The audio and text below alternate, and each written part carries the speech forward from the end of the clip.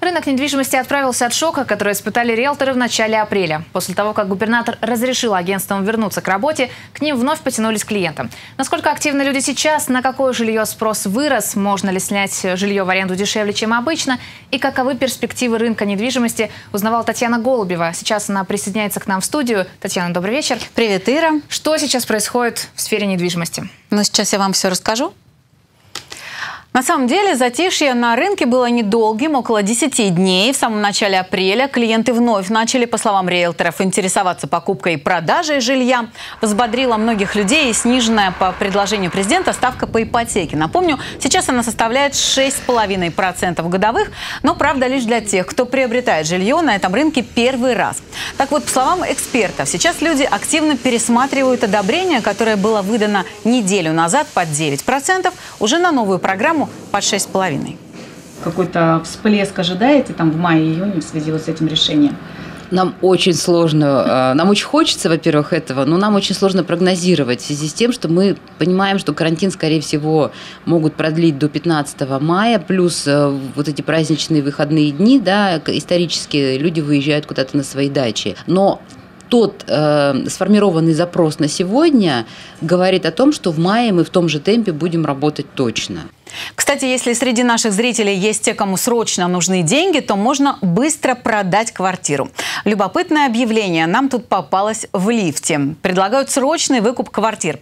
Правда, по телефону нам рассказали, что с пандемией это не связано. И не означает, что кто-то хочет в этот сложный период заработать. Допустим, ваша квартира стоит полтора миллиона, за миллион триста мы ее купим. Вот что-то вроде того. Весь смысл в срочности. Сразу за деньги, за наличные, хоть завтра на сделку. Вот и все. Вам не надо ни покупателя искать, как бы не заморачиваться. В основном обращаются те люди, у которых сложные ситуации. Долги, аресты, обременения, квартиры отбирают, еще там что-то. Вот такое. Между прочим, дешевле, чем обычно, сейчас можно и снять жилье. В пандемию арендаторы не очень активны, так что реально сэкономить. Мы позвонили по одному из телефонов на Авито, и нам этот факт подтвердили.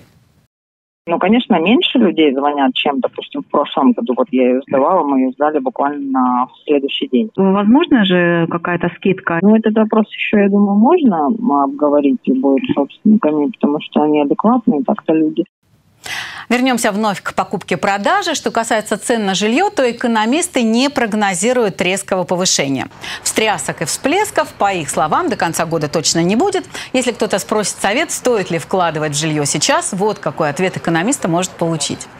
Если посмотреть все-таки, э, произучать аналитику и рынков, и э, сообщества экспертов, то ну, они считают, что это глупая инвестиция, поскольку ну, есть более доходные инструменты. Например? Но это как раз вот интернет-компании, тот же Amazon. Но я не думаю, что большинство людей в Алтайском крае столько денег, чтобы вот как раз э, куда вложить в ту же квартиру я очень рад за тех, кто может себе позволить. Ну, квартиру, конечно, в, жилищ, в жилищную недвижимость можно вложить. Можно вложить в акции. Что, если средства есть, то в недвижимость все-таки можно вложить на данном этапе. Экономисты не то чтобы сильно советуют, но и не отговаривают.